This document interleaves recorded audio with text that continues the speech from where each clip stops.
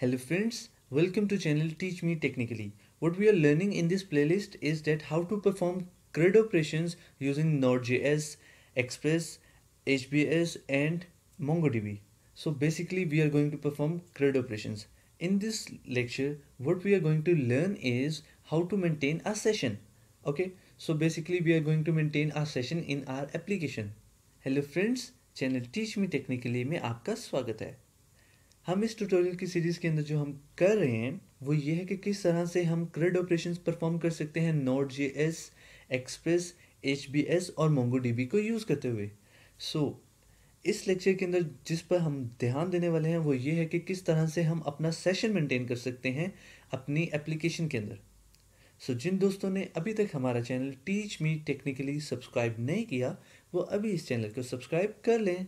For all those who didn't have subscribe to our channel Teach Me Technically yet, subscribe it now.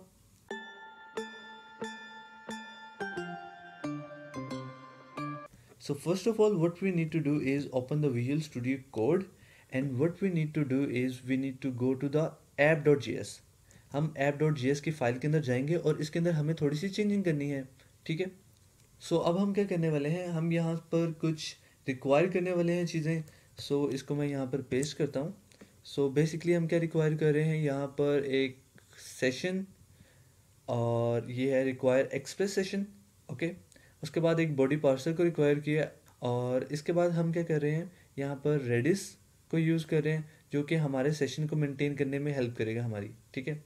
So so, यहाँ पर हम reddish store को require करेंगे और उसके बाद हम क्या कर रहे हैं? यहाँ पर एक क्लाइंट क्रिएट कर so what we are doing right here is that we are acquiring some packages or modules in our application which includes session and redis redis store okay?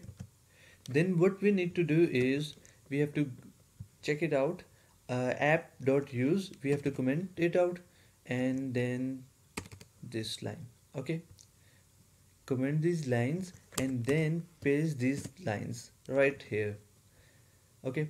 So what we are doing here is app.use body parser function so basically ये function हमें आप जैसे ही आप internet पर इसको search करेंगे ready store को कि किस तरह से आपने अकाउंट क्रिएट करना है सो so, यहाँ वो आपको इन्फॉर्मेशन दे देगा कि आपको किस तरह से करना है ठीक है? यहाँ पर मैंने अपने से एक सीक्रेट लगा दी है वैल्यू और ये एक वैल्यू पेश कर दी है कि मुझे ट्वेंटी फोर आवर्स के लिए इसका सेशन चाहिए ठीक है? सो so, ये सेशन जो है मेरा ट्वेंटी फोर आवर्स के लिए वैलिड रहेगा। So what I have did here is I have just entered this code which you can easily get from the internet when you would search for Redis store or Redis session maintenance okay? So I have entered the secret. You can enter the secret value by your own self. And I have entered this value which means that the session should be maintained for 24 hours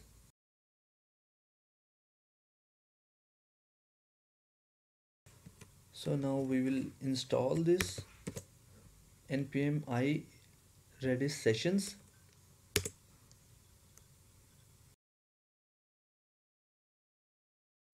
So I think it has been installed. So now we will just run the server. So now I'm assuming that the session is being maintained. So we will check it out later. So what we are going to do is we are going to the main we can check that if session is maintained or not. So now the question is how can we access the session in our controller? Because we need to perform the session uh, management in the controller. So we can get the session from the request parameter. How can we get? We can get it by for example request dot session variable. Okay so request dot session variable returns us the session. So what we need to do is we need to first of all save our session.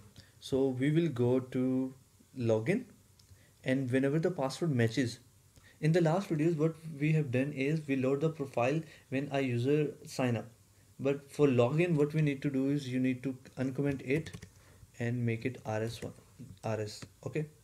So now coming back to what we were doing uh, we need to maintain a session okay? So to maintain a session what we need to do is we have to write the code to save the session.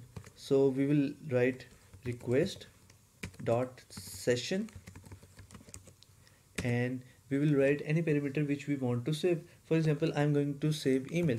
So i will just write request dot session dot email is equal to and then i will give the value which i want to save in this whole variable okay so i will just enter request dot body dot email okay so whatever the user has entered i'm saving the value in the request dot session dot email and similar the case would be in sign up okay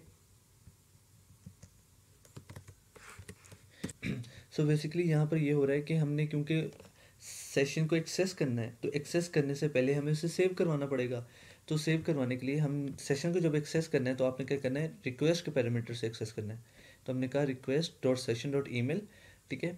यहाँ तक आ गया request dot session और इसके आगे email हमने लिखा अपने variable for example आप समझे कि ईमेल एक कोई डिक्लेयर कर लिया वेरिएबल ठीक है? और हम क्या कर? रहे हैं उसके अंदर एक वैल्यू सेव करवा रहे हैं जो यूज़र ने एंटर की थी। सो so, इस तरह हमने अपने ईमेल के अंदर जब भी यूज़र लॉगिन करेगा या फिर साइन अप करेगा तो हमने उसकी ईमेल को सेव करवा लिया अपने पास, ठीक है? यहाँ तक हमारा ये हो चुका है। So what we are going to do now is we are going to create an if condition if request request dot session, then do something. Okay, for example, i'm doing like printing the email.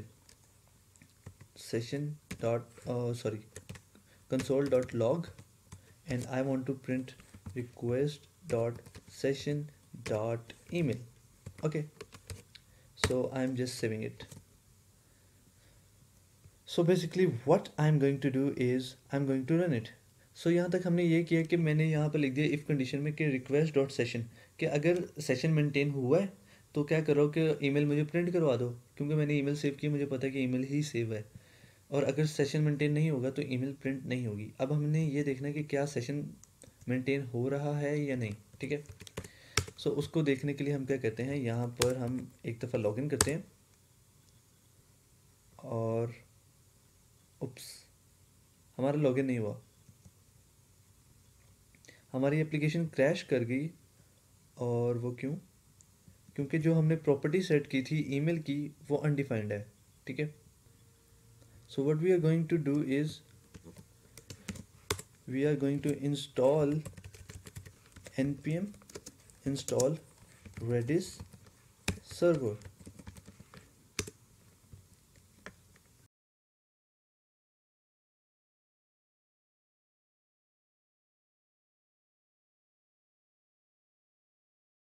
So what the error was coming, we did not have added these dependencies npm i express session and npm i connect session and before that I also added npm i redis session. So we need to add these dependencies or you may say modules in our system. Okay. After that, when we execute, so what happens is, for example, I'm going to login and you can see that it is successfully logging and when we come to our console and check it out that a at the rate a.com is being printed. It means that our session is being maintained.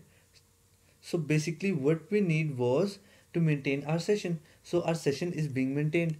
And we can see it from this condition. Because we have said if request.session exists then see out or you may say print the email address so it has printed the email address which is showing that session is being maintained. So यहाँ पर आप देख सकते हैं कि एक तो हमारा वो लॉगिन हो गया और उसके बाद हमारे यहाँ पर हो क्या रहा है कि यहाँ पर A at the rate A dot com जो कि मेरा ईमेल एड्रेस है इस अकाउंट का, वो प्रिंट हो रहा है। अब यहाँ पर मैंने लिखा हुआ था कि सेशन अगर मेंटेन है, ठीक है एग्जिस्ट करता है तो आप ईमेल प्रिंट करके मुझे दिखा दो। अब उसने ईमेल प्रिंट करके दिखा दी, जिसका मतलब ये है कि हाँ सेशन एग्जिस्ट करने लग गया है।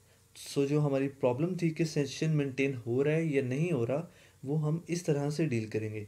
फ़र्स्ट ऑफ़ ऑल लॉगिन और साइनअप के अंदर हम उसको सेशन को सेव करेंगे और जिसके अंदर हमें ज़रूरत पड़ेगी उसके अंदर हम उसको यूज़ कर सकते हैं।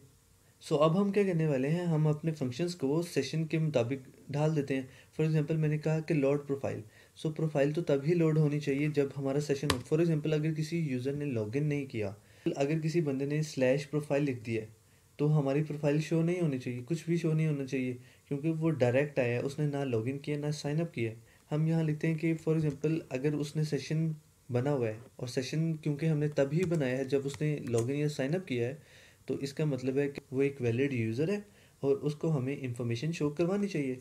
सो मैंने यहाँ पर लिख दिया कि अगर उसका सेशन मेंटेन्ड है तो आप ऐसा करें कि उसको शो करवा दें, उसकी प्रोफ़ाइल लोड कर लें, और अगर उसका सेशन ही मेंटेन नहीं है तो आपको प्रोफ़ाइल लोड करने की कोई ज़रूरत नहीं है और उसको कहें, अभी आप पहले लॉग इन करें सो इसके एल्स के अंदर हम प्रिंट करवा सकते हैं कि console dot log you may log in first so what we have done here is we have just made a check that if the user has a session a valid session then the profile should be loaded otherwise the profile should not be loaded because the user has come to this link direct he does not come from log in और signup because in login and sign up we have maintained a session. We have created a session for the user. So so friends मुझे उम्मीद है आपको आज का lecture समझ आया होगा कि किस तरह से हम सेशन मेंटेन कर सकते हैं और किस तरह से फिर उसको यूज़ करके हम इंफॉर्मेशन निकालेंगे, वो आपको आगे वाले लेक्चर्स के अंदर पता चलेगा। सो so अगर आपको आज की वीडियो पसंद आई है तो वीडियो को लाइक करें। अगर आपका कोई भी क्वेश्चन है तो कमेंट बॉक्स में कमेंट करें और चैनल टीच मी टेक्निकली को सब्सक्राइब करें। So I hope you understand how to maintain a session in our application. So if you have any further queries, you can comment in the comment box. Subscribe to our channel Teach Me Technically and give this video a thumbs up. Thanks for watching friends.